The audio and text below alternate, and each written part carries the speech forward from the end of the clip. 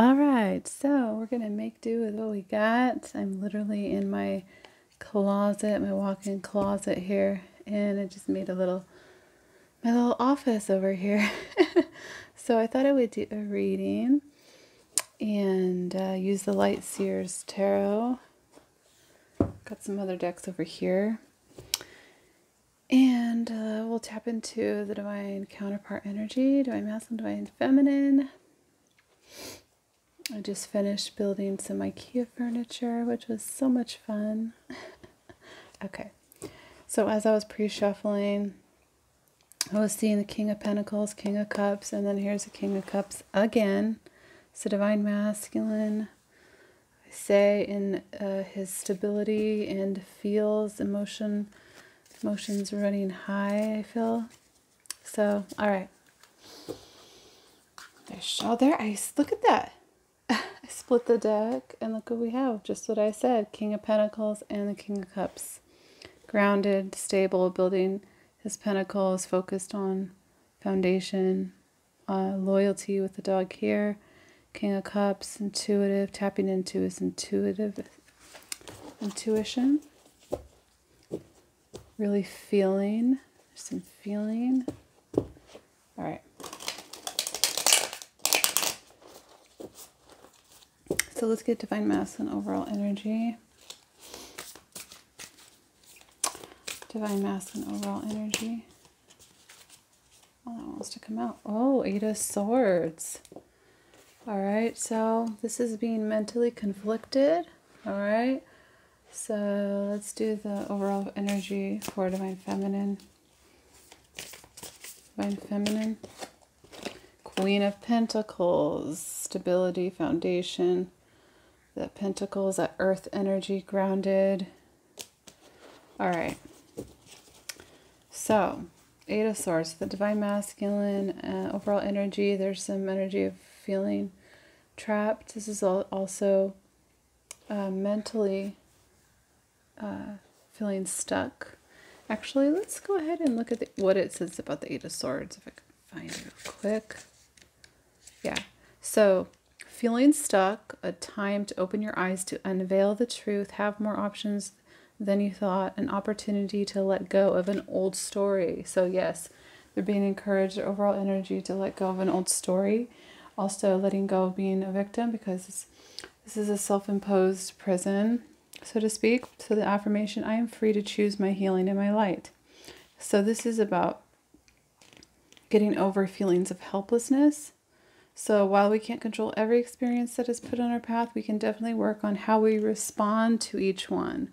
Let go of old stories and be vigilant of any wallowing, low vibe, low vibe thoughts that you may be holding on to. Reframe your experiences as lessons and choose to heal. So that's overall what the Divine Masculine is experiencing. So the shadow seer is being a victim, feeling helpless, using your stories or past experiences as excuses to remain shackled. If you are feeling trapped with no path forward, remember that this too is a perspective that can be lifted, it can be shifted. So when you choose sovereignty over victimhood, you become the fierce wielder of choice. You can free yourself from your shackles and shift your outward your outcome, your outcome dramatically by accepting that you are the you are the person responsible for your happiness. So if you look at this side, see how she's like, wow, like she's taking it off and she sees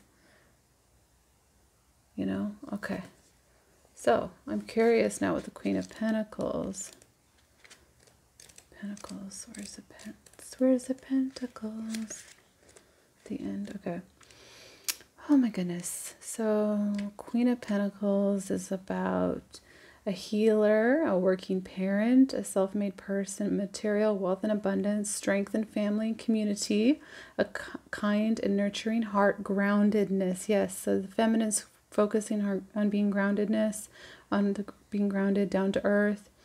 Okay, so shadow seer, financial stress, being self absorbed, smothering others, helicopter parenting, overindulgence, work home imbalances. So, this self made queen reminds you to step into abundance by shifting any shadows you are holding onto around wealth and security.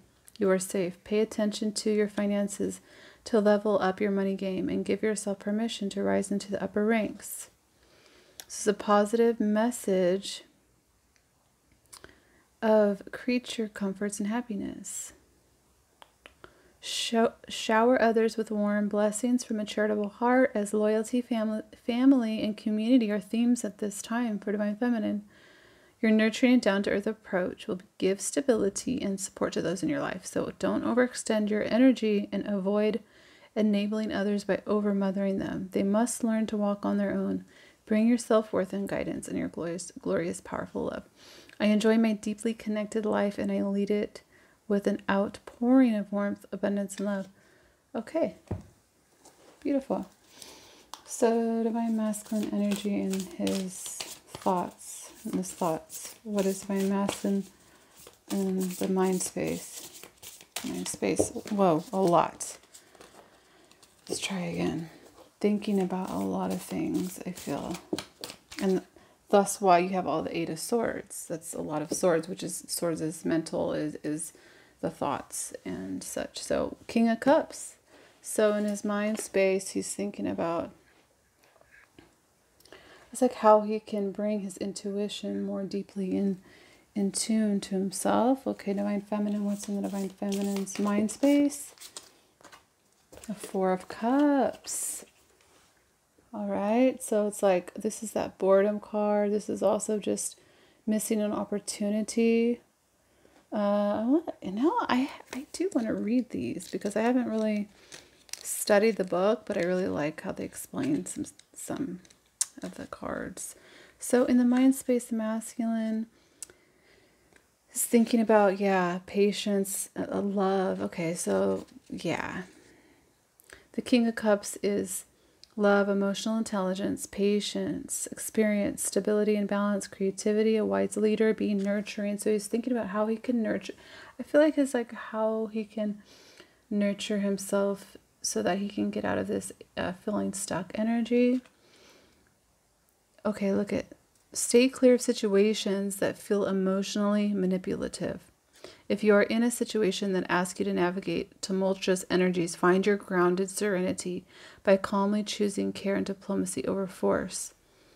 Okay, yeah, so it's the balance between like being a wise being wise and temperament your your moods, the moods and all that. So instead, seek to understand others through empathy, tolerance, and compassion, and emotional fulfillment will be yours. So that's what's on the masculine's mind here. And okay, so let's see what's the Four of Cups. I want to see what they say about that. So the feminine is thinking of okay, so what is frustrating? Um, boredom, being a being a brat, not appreciating what you have, introspection, stability leading to boredom, missing opportunities for abundance. Um, so maybe I feel like the feminine is thinking about like, you know, particularly with I feel like it could be with the masculine as well. Did she miss an opportunity with the masculine? Okay, so let's see what this says. What what um, feminine is thinking about. So instead of focusing on what you don't have right, focus on what you do. So this is why the overall energy I feel like feminine is focusing on, you know, creating the stability and groundedness. Because in her in her mind, she may be thinking about, oh, did I miss this opportunity? Um, yeah, it says shadow seer focusing on the negative, the time to practice gratitude, a gentle nudge to stop complaining. So, if you notice, um, feminines, if you're doing that, which is you know part of life, see this beautiful rainbows coming into bless, see all this beautiful energy. Okay, let's keep going. I don't want to be too long. Heart space for masculine. Heart space. Heart space. Heart space for masculine. Okay, oh my, are you kidding me? Look at this, you guys. The Queen of Cups, which is Divine Feminine, okay? So that's the match. So in his heart space is the feminine. Okay, so we had overall energy, Eight Swords, okay? Uh, the mind, thinking about how he can be more uh, contemplative and nurturing and balancing his energies and his moods. And in his heart space is the Queen of Cups. Seriously, that's so cool, which is his feminine. and also within him, the divine feminine within him. But straight up in his heart space is the feminine. So look at that. High priestess popped out. But we're going to get feminine's overall heart space. Feminine's uh, overall heart space. Okay. Whew. Hot.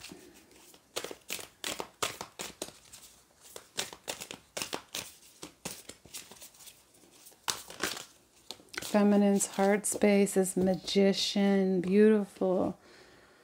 So, feminines are in their heart feeling like, what can I manifest? The heart, you know, how can I make the, this work? The infinity symbol there, which is representative of the connection she has with her masculine. So, the Queen of Cups. I just saw it. Where was it?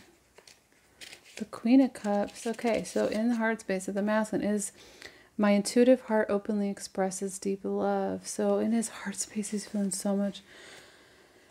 There's a lot of emotions over an intuit, intuition. Okay, so extremely intuitive, a highly in tune emotional intelligence, love, compassion, sensitivity. So the Queen of Cups is one of the most intuitive characters of the tarot, floating in her dreamlike state of spiritual connection. She asks how well your emotions have been serving you lately and reminds you that you have the ability to connect on a much deeper level. Feel and accept your emotional intuition. So also, I really, I really feel like it's just straight up in his heart space is the feminine. That she's always there and just like re guiding the masculine.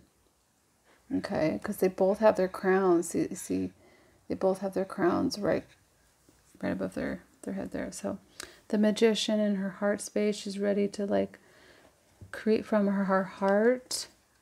Okay, we're gonna keep going because that's pretty self-explanatory. Feminine is like, what can I create from my heart space? Because what is in her heart, what was coming through, that's creative creativity comes from the mind as well, but it comes from that heart space. And what can I creatively create creativity? Okay, you know what I'm saying. I'm just gonna keep going. So we're gonna say message from divine masculine to his divine feminine. Message from divine masculine. Oh my gosh, a bunch of cards came out. Oh my goodness, masculines. I'm gonna say a lot. Wow, so we've got a lot of messages here. Yeah, you know, he's feeling conflicted, heartbreak, heartache, missing, pain. We've got three of swords, five of swords. That's, you know what? There's that eight of swords right there. Remember, we had the eight of swords in his overall mind space. Sorry about my nails, you guys. um, three of swords, five of swords. Yeah, feeling conflicted. Um, lots of just overthinking, just thinking about the the the journey with the feminine uh, could be just experiencing a lot because we do have the emotions. We have got cups, and the King of Cups and the Queen of Cups. So his message to the feminine, he's healing some, some deep, deep stuff right now, but uh, he wants to balance things out. And this is what he envisions with his feminine. This is beautiful, you know, foundation and legacy See this happy family, the Ten of Pentacles is that legacy. And balancing out, this is giving and receiving. It's that beautiful figure eight energy. Okay, so what does the feminine have to say to the masculine? What does the feminine have to say to the masculine? Nine of Cups. So you are my wish fulfillment. I know. Look at that. Ace of Wands, passion, a new beginning, igniting this uh, she sees this passion within her own consciousness and within and can feel the masculine. It's like you know, my ma- the masculine is also my wish fulfillment and I wish to have the you know, I have these 9 of cups and I'm ready to leap forward and I have all this passion within my consciousness and ready to ignite this. So that's and I feel like the feminine is really focusing on her passion and and creativity and bringing through uh, her own happiness as well as the ace of wands the nine of cups It's like I'm gonna just keep giving this. The Nine of Cups is also like self love. Okay, all these cups, you know, just bursting out from her, the feminine. Okay, what else does Spirit want to tell us? How about their overall energy together? Since they are already one. Oh my gosh, what is this? oh this is just intense, passionate energy. Yeah, because they're both, look at this, devil energy. So, that just doesn't always have to be like in a negative way. I feel like this is very just, this is a lot of passion, all right? Uh, extreme passion. There's just a lot of passion between the two. And, and also kind of like in that shot, not a shadowy, just very passionate. There's just like lots of passion running through. Okay. How long? It's 15 minutes. Okay. Um, any other messages, Spirit? Advice from Spirit. Advice from Spirit. One came out death and rebirth. Yep. It's time for rebirth, renewal, reset. Uh, for my own life, you know, as a divine feminine, I can relate is about this time of re re of redoing, rebirth, renewal, reset, reimagine, re re re so here we go. And there's that infinity symbol in between right there, death, rebirth. So spirit's advice is to look for look for the opportunities here, you know, and shed the layers of the past and heal. And your bright future is right right there in between the trees and to connect with this this rebirth energy. Um, yeah. And we have the King of Swords, the bottom of the deck you know, divine masculine energy, getting more into his truth and his knowledge and what, you know, what he believes to be true and getting guidance from lots of spirit animals and guides. And so let's see what cards I have in here. Let's do some divine masculine messages to divine feminine. Divine masculine, messages do you have, divine feminine? What messages do you have to, for your divine feminine watching? Messages, please. I am seeing everything from a whole new perspective, and here's that perspective shift that the divine is asking both divine counterparts to keep going towards that perspective, different perspective. And so, especially with the King of Cups, oops, it, you know, reimagining, tapping into his intuition, you know, his feelings, his emotional intelligence, being more aware. So I am seeing everything from an from a new perspective. Because it's like the tower, you know, uh, uh, you can have a perspective shift overnight and just it, it changes you.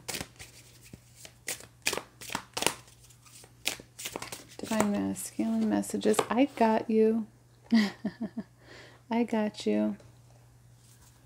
So he's saying, Divine Feminine, I got you. Okay. Beautiful. My heart feels like it's going to explode. Yeah. That's why we got we had the Three of Swords. We had uh, in his heart space the feminine as a Queen of Cups, very emotionally like more intuitive and just feeling feeling that heart connection. And she knows that Ace of Wands, this passion coming through. They had both that um, that devil energy, which is also extreme passion. Uh, okay, what else? How many more minutes? Okay, I got on here. Oh my goodness, I'm back. I honestly could do a reading anywhere. I am fighting for us. So whether or not you see anything in the physical or you just like feminines don't know really what to do and that four cups energy and just like you know i'm going to passionately move forward in my life they're they want you to know that they are fighting for this connection. Yeah and faith is the fuel is faith is the fuel that creates miracles. So have faith okay? And don't give up on experiencing love. Remember love is everywhere You can experience love in every now moment. And let's see what else. Yeah, look at, boom. I need to love myself more. That's that. Remember, we started off with the Eight of Swords. That mental imprisonment. The Eight of Swords is like, um, yeah, it's just, it's a mind state. And it takes uh, your own process and learning experience to get out of the Eight of Swords and realize it's a self imposed prison. Like the, you know, she has toilet paper wrapped around her legs and her arms and she can't get out. So, but a lot of it is having to love themselves more. And so when the feminine also loves herself more, that also helps the masculine to get into that similar energy. Okay. All right. So we have your, see what did I just say? yes, this is exactly what I was just saying. You are my lighthouse guiding me home. The feminine and I feel like the masculine as well can be the lighthouse for the feminine, vice versa, but a lot of times I feel feminine is a lighthouse for the masculine. And your smile lights me up. Masculines are saying your energy, your smile, it just lights them up. And look at this message. You got this, babe. I believe in you. So we've got the similar message. I got you. You got this. We both got this. And any other messages? Get one of my cards. Tap into your energy, that energy flow. Okay, so for both divine counterparts, your energy field and paying attention and having that awareness of what brings you energy, what drains your energy uh, in all types of ways physically, mentally, emotionally. So paying attention to your energetic fields. And then we'll get one of these. Yeah, because you have the power within to shift your energy, to bring in new, fresh energy which is why we have the death and the rebirth card because it's like a restart about renew renewal reimagine reform redo uh, reestablish all those kind of words there. So uh, what's at the top? Yeah nine of pentacles you know. I feel like they're both working on building uh, more stability in their lives on an individual level. And look at this. Oh, how beautiful. Don't give up. And I love it. This landscape is similar to where I'm at. Like, looks like this. Beautiful. Don't give up. And don't give up on yourself. Like, keep striving and keep keep going. So don't give up. You have the power within. Pay attention to your energy. Um, who you, and also like who you're giving your energy to. All right twin flames, you know, we are here for a reason. Powerful. All right. I Have any other cards near me? Let's see. Got this bag. A bag of goodies. Ooh, I see Hathor and I see. Ooh, what's this? Hathor is the weavers of consciousness, another universe. Ooh, we've got the Hathors coming out here the br the bringers of consciousness, the weavers of consciousness, another universe. All that gold and blue energy, gold. So, okay, this is cool. I just I miss doing a twin flame reading. This is great. I hope you all enjoyed these messages. Look at this. I'll read this and then I'll be done. The last thing I want to do is hurt you. I'm very careful about the energy look at that I bring to you. And see how she has this in her hand. So the masculines are saying they're very careful about the energy they bring to you or around you. Um, so that's what that card is about. And bringing in their own um, their own energy. So they're very careful about the energy. That's why I was talking about that. And yeah, that's it. All right. Thank you. And hope you enjoyed this message. All right. Bye.